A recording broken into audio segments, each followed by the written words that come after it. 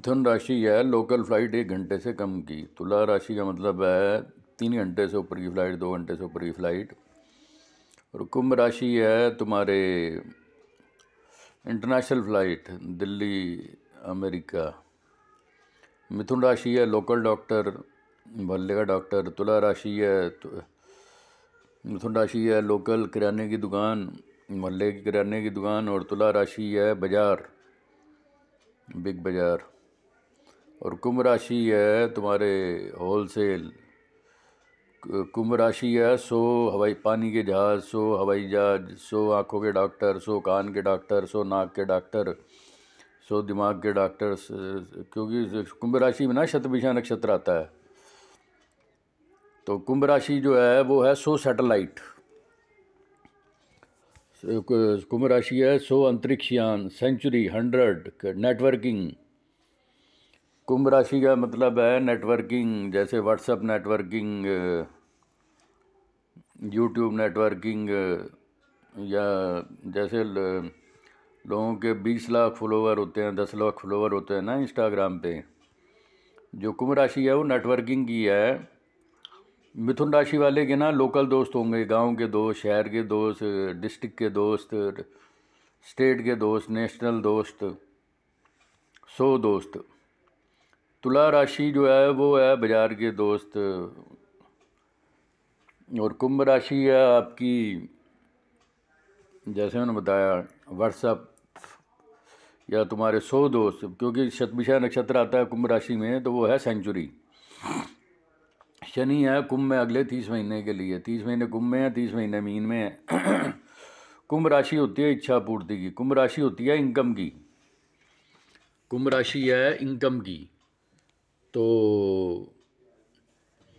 अगर आपकी इनकम बढ़िया है तो लोकल माल परचेज कर सकते हो, मिथुन राशि।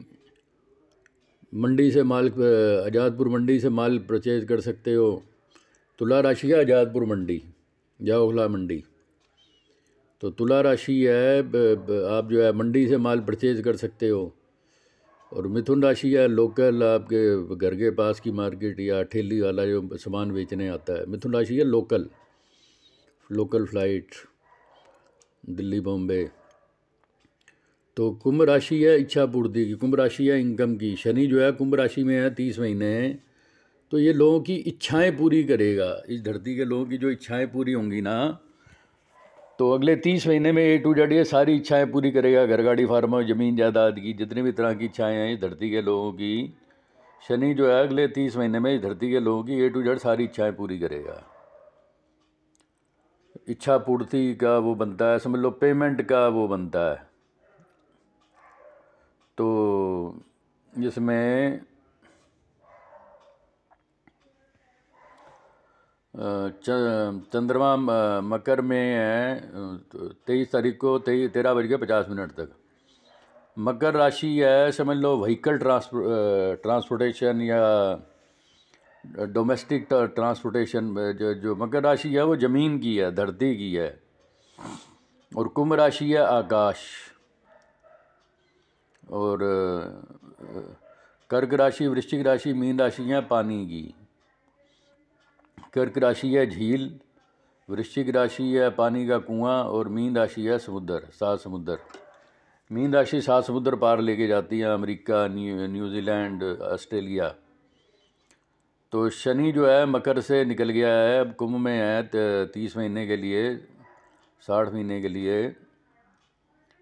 तो शनि कुंभ में आ रहा है तीस साल बाद, तीस साल बाद शनि का कुंभ में संबंध बन रहा है। तेईस तारीख को तेरह बज के पचास मिनट पे। तेईस, चौबीस, पच्चीस में बाई दवे शुक्र भी जो है कुंभ में तीस साल बाद पहली दफ़ा चंद्र, शुक्र, शनि का कुंभ में संबंध बनेगा तेईस जनवरी को, तेरह बज के पचास मिनट पे। तेईस, चौबीस पच्चीस में। तो तीस साल बाद ये शनि जो है, कैसा वो करेगा? ये अब आने के बाद ही पता लगेगा कि जैसे नई प्रधानमंत्री आया है कैबिनेट मिनिस्टर आया है वित्त मंत्री आया है या कोई भी वो राज्यसभा मेंबर आया है, या कोई भी लाइफ में एक नया चेंज आया है प्रोडक्ट आया है वो अच्छा जाएगा, ख़राब जाएगा, वो तब पता लगेगा जब चंद्र शनि कुंभ में होंगे। तो चंद्र शनि कुंभ में है, तेईस, चौबीस, पच्चीस में, अभी शनि ज़ीरो डिग्री का है। चंद्र शुक्र का संबंध तेईस, चौबीस, पच्चीस में होने की वजह से कुंभ राशि जो है एक रेगुलर सोर्स ऑफ़ इनकम देती है। पिता के रिश्तेदारों से कोई रेगुलर सोर्स ऑफ़ इनकम भाई के दोस्त पड़ोसी रिश्तेदारों से। कुंभ राशि है एल्डर ब्रदर जैमनी है यंगर ब्रदर तो, तो मिथुन राशि भी पड़ोसी है कुंभ राशि भी पड़ोसी है। समझ लो नेबर्स कज़न्स छोटी यात्राएँ पचास किलोमीटर की यात्रा है मिथुन राशि के कंट्रोल में और पाँच हज़ार, दस हज़ार किलोमीटर की यात्रा कुंभ राशि के कंट्रोल में। तो तेईस, चौबीस, पच्चीस इस धरती के लोगों के लिए जो है ना, कोई परिवर्तन लाने वाली होगी, तीस साल बाद जो शनि कुंभ में आया है। उसके बाद चंद्र गुरु का मीन में संबंध है, पच्चीस, छब्बीस, सत्ताईस में। राहु मीन में आ रहा अठारह महीने के लिए। मीन राशि है, खर्चे की। तो आने वाले टाइम में अगले अठारह महीनों में लोगों के खर्चे होंगे। शादियों पे खर्चे, विदेश यात्रा पे खर्चे, अंतर्राष्ट्रीय उस पर खर्चे।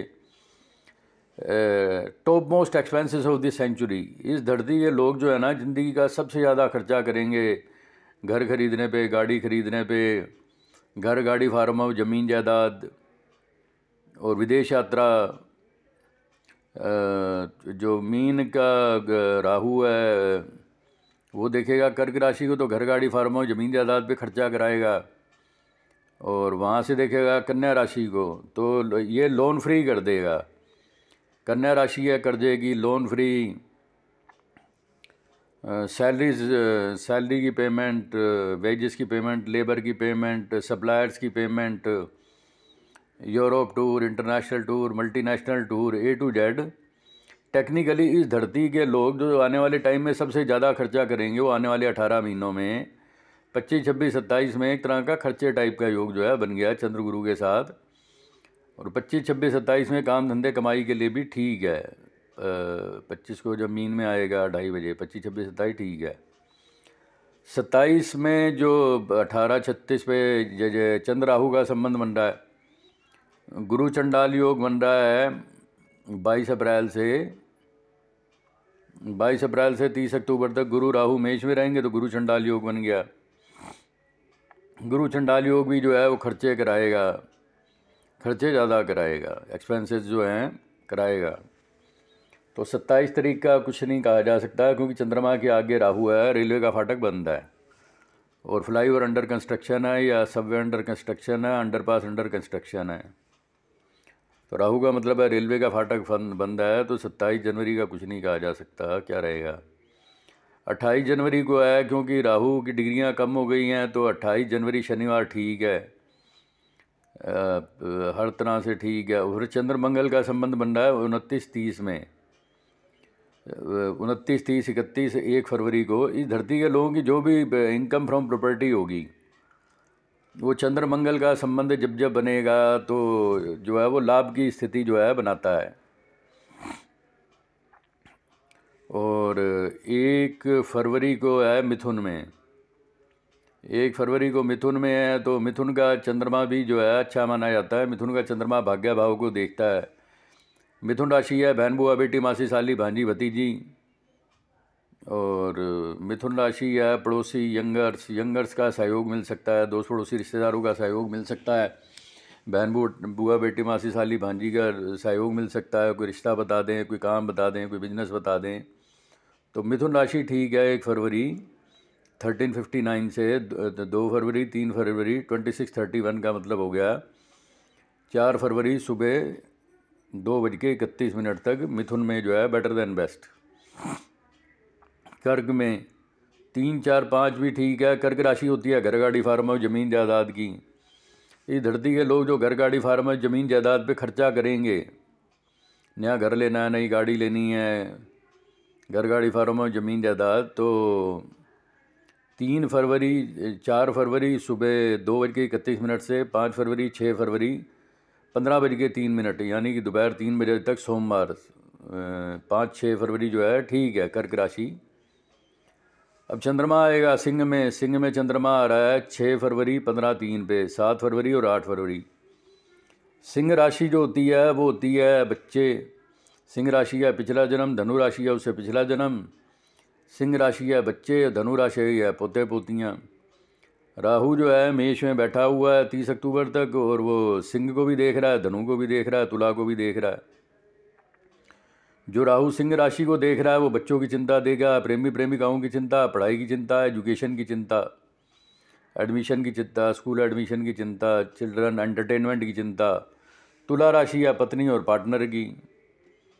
पत्नी और पार्टनर की चिंता और धनु राशि है विदेश यात्रा, विदेश में पढ़ाई की चिंता। तो छः सात आठ जो है, वो लव मैरिज के लिए ठीक है, शनि बैठा है कुंभ में। Top boss love marriage of the century, इस धरती की जो सबसे ज़्यादा लव मैरिजेज होंगी, वो छः फरवरी पंद्रह तीन से सात फरवरी आठ फरवरी में top most love marriage of the century and new source of income of the century. New source of income भी छः सात, आठ जनवरी को बनेंगे और लव फेयर का भी जो रहेगा, फिर चंद्रमा जा रहा है कन्या में नौ फरवरी, दस फरवरी, ग्यारह फरवरी।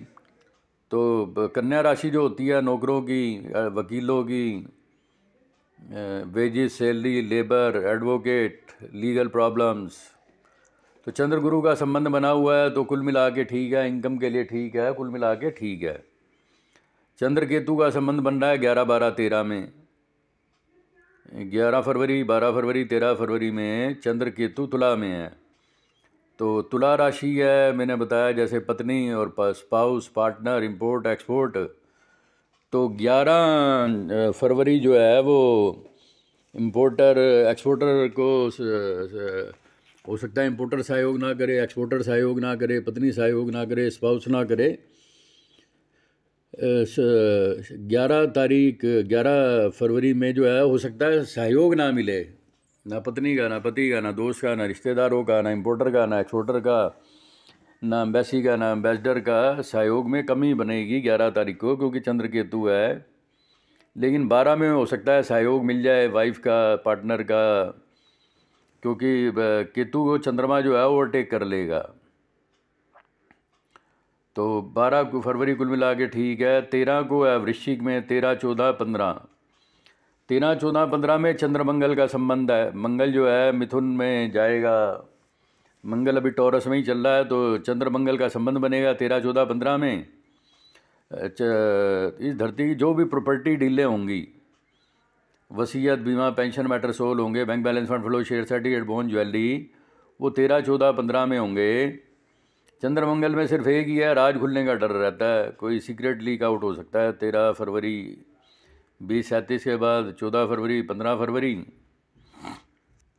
चंद्रमंगल का संबंध है तो इनकम मकर वालों के लिए इनकम के लिए ठीक है, लोन मैटर के लिए ठीक है, नौकरों के लिए ठीक है, वसीयत बीमा, पेंशन के लिए ठीक है, bank balance fund flow, share certificate, bond, jewellery के लिए ठीक है। तेरह, चौदह, पंद्रह। पंद्रह, सोलह, सत्रह में धनु में जा रहा है, धनु राशि है, किस्मत की। धनु राशि है भगवान की धनु राशि है गुरु की धनु राशि को राहु देख रहा है तीस अक्टूबर तक। धनु राशि है विदेश में पढ़ाई की। तो पंद्रह, सोलह, सत्रह है लक्का दर्शे थिंग जो हर इंटेलिजेंस ट्यूशन पावर फोर सेटनेस air travel, foreign travel, bank through long investment, export. Rahu धनु राशि को जो देख रहा है तो ईश्वर के आशीर्वाद के लिए कोशिश करनी पड़ेगी, विदेश यात्रा की कोशिश करनी पड़ेगी, विदेश में पढ़ाई के लिए कोशिश करनी पड़ेगी। सत्रह अठारह उन्नीस में बिज़नेस ऑर्डर आ सकते हैं। चंद्र चंद्रमा मकर में आ रहा है।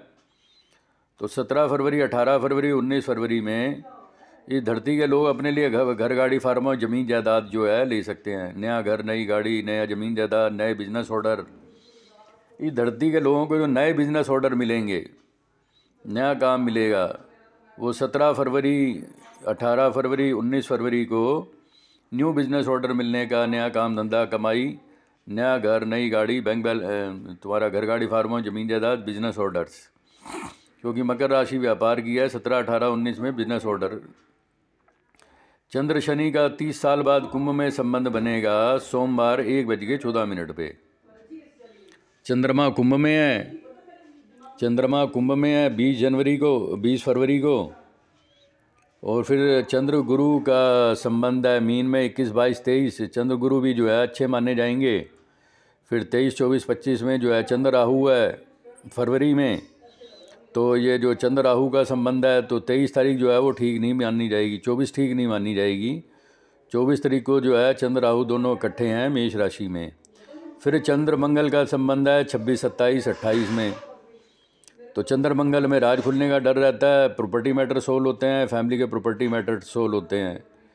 और फिर ये चंद्रमा जाएगा मिथुन में। एक मार्च को और दो मार्च को। मिथुन का चंद्रमा भी ठीक है। फिर चंद्रमा कर्क में है, तीन मार्च, चार मार्च तो अपना घर गाड़ी फार्म ज़मीन जायदाद के लिए ठीक है। फिर चंद्र राहु का संबंध बनेगा, पाँच मार्च को छः मार्च को, सात मार्च को, आठ मार्च को। तो सिंह राशि है, प्रेमिका, प्रेमी, प्रेमिका, पोते, पोतियाँ, बच्चे। तो पाँच जनवरी में बच्चों की चिंता, प्रेमी, प्रेमिकाओं की चिंता, लेकिन छः जनवरी छः मार्च ठीक है, सात मार्च ठीक है, आठ मार्च ठीक है।